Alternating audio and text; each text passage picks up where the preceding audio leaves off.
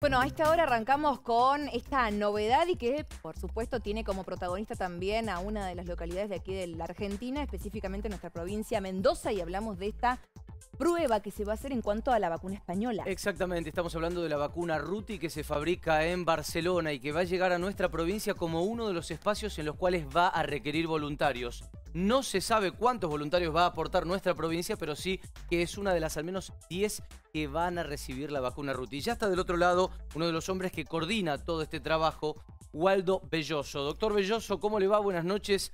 Gisela Campos y Julián Imacio los saludan desde Mendoza. Hola doctor, bienvenido. Hola Gisela, ¿qué tal? Mucho gusto, ¿cómo están? Muy bien, gracias por atendernos. Eh, varias preguntas, imagínense, tenemos los mendocinos. Creo que lo sabe porque lo han llamado a lo largo de toda la jornada de varios medios. Pero la primera es, ¿cuántos voluntarios pondríamos nosotros? ¿Cuántos voluntarios serían de acá?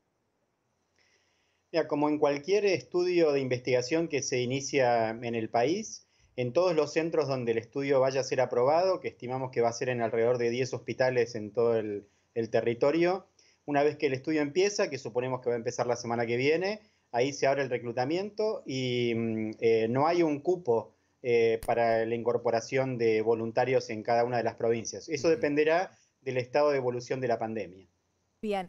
Doctor, y hablando específicamente de la vacuna, ¿no? Em, para conocerla un poco más en detalle, esta vacuna Ruti de procedencia española, digo, ¿cuáles son las diferencias o en qué se diferencia con las restantes, ¿no? Con las que también están en proceso. Sí, como ustedes lo anunciaron antes, se trata de una vacuna que intenta evaluar otro mecanismo completamente distinto de las vacunas específicas. Y como ustedes dijeron, es una vacuna que está originalmente destinada para la protección de la tuberculosis. Lo que intenta evaluar esta vacuna es si a partir de la inoculación de partículas del Mycobacterium tuberculosis, eh, se puede generar una inmunidad que cubra no solamente contra tuberculosis, sino también contra otros patógenos respiratorios incluyendo el coronavirus. De modo que en este caso sería una inmunidad que eh, em, protegería de manera inespecífica contra otros gérmenes, incluyendo coronavirus. Este tipo de inmunidad se llama inmunidad entrenada y es lo que queremos evaluar eh, si sucede y en qué magnitud con esta vacuna. Eh, ¿Por qué la Argentina es uno de los puntos de estudio? ¿Se va a empezar a probar acá antes que propiamente en España, que es donde la fabrican?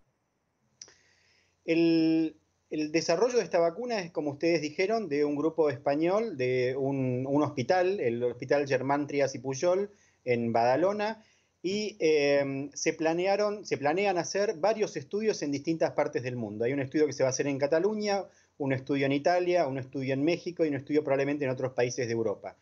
Se planificaron todos los estudios de manera simultánea y mm, ah, simplemente por una cuestión este, de tiempos regulatorios salió aprobado con más velocidad aquí en Argentina, pero el estudio no se va a hacer solamente acá en Argentina, sino que se va, a hacer también en otros países del mundo. Muy bien.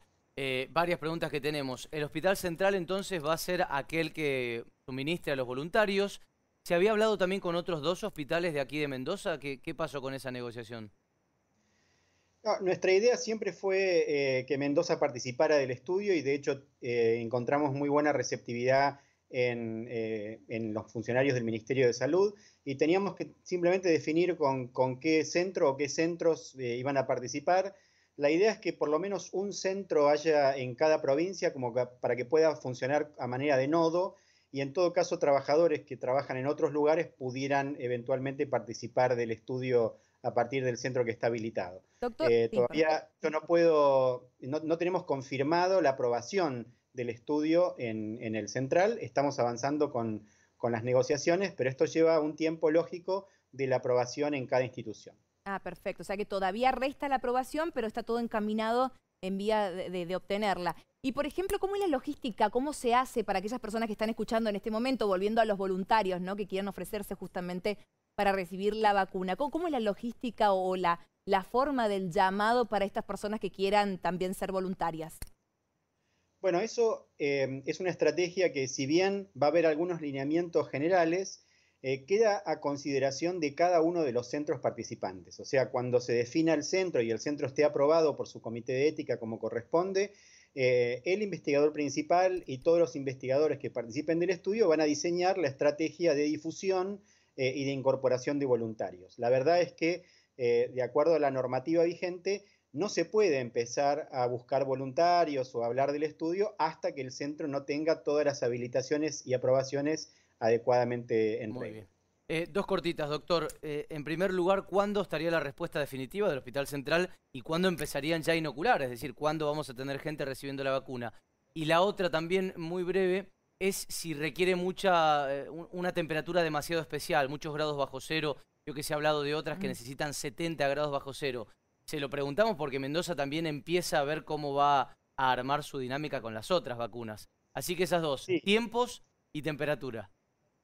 Sí, eh, en relación a los tiempos, la verdad es que mm, esto depende estrictamente de los tiempos regulatorios de cada comité eh, de ética y, la verdad es que de ninguna manera nosotros podemos influir en ese tipo de tiempos. Claro, obvio. Eh, obviamente que estamos en medio de una pandemia y todo el mundo entiende que hay que hacer las cosas con la mayor velocidad que se pueda, pero sin descuidar en, ningún momento Em, la, profundidad con que se miren este, los documentos. Y en cuanto a la temperatura y a la logística, esta es una vacuna que es muy similar a la BCG y de, modo que es una vacuna que tiene características eh, que no son tan novedosas como las otras vacunas específicas de las que se está hablando eh, en este momento con más asiduidad. Entonces, no requiere mayor problema del, punto de vista logístico ni de temperatura. Es una vacuna que se da por vía subcutánea y es muy sencilla de administrar. Y esperamos que la vacuna ya ha llegado al país,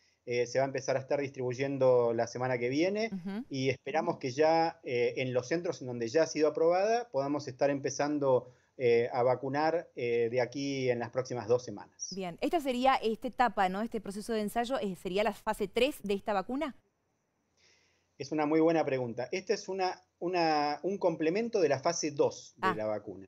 Por lo tanto, es una vacuna que está en un paso más precoz este, que las demás, como para poder eh, ser comercializada. De todas maneras, nuestra intención es, como esta es una vacuna complementaria a las demás, entonces suponemos que puede dar eh, una protección eh, transitoria y como ser un puente hasta que recibamos las vacunas específicas con mayor eficacia. Ah, Digamos, no se, no se contradice con ninguna de las otras vacunas que eventualmente después puedan ir llegando al país. Ah, perfecto. Doctor, muchísimas gracias, muy claro, ¿eh? y sobre todo importante ir conociendo sobre esto. Muchísimas gracias. gracias a usted. Muy amable. Waldo Belloso era quien charlaba con nosotros sobre esta vacuna que aparte nos empieza a demostrar cómo podría armarse el protocolo, la dinámica, la logística de las otras. Absolutamente, que no es menor, no es y, menor. Y la pregunta que le hiciste sobre el final es buenísima porque te podés aplicar las dos. Claro. No es que si te pones esta después... Complementaria, mira vos. Complementaria. Bueno.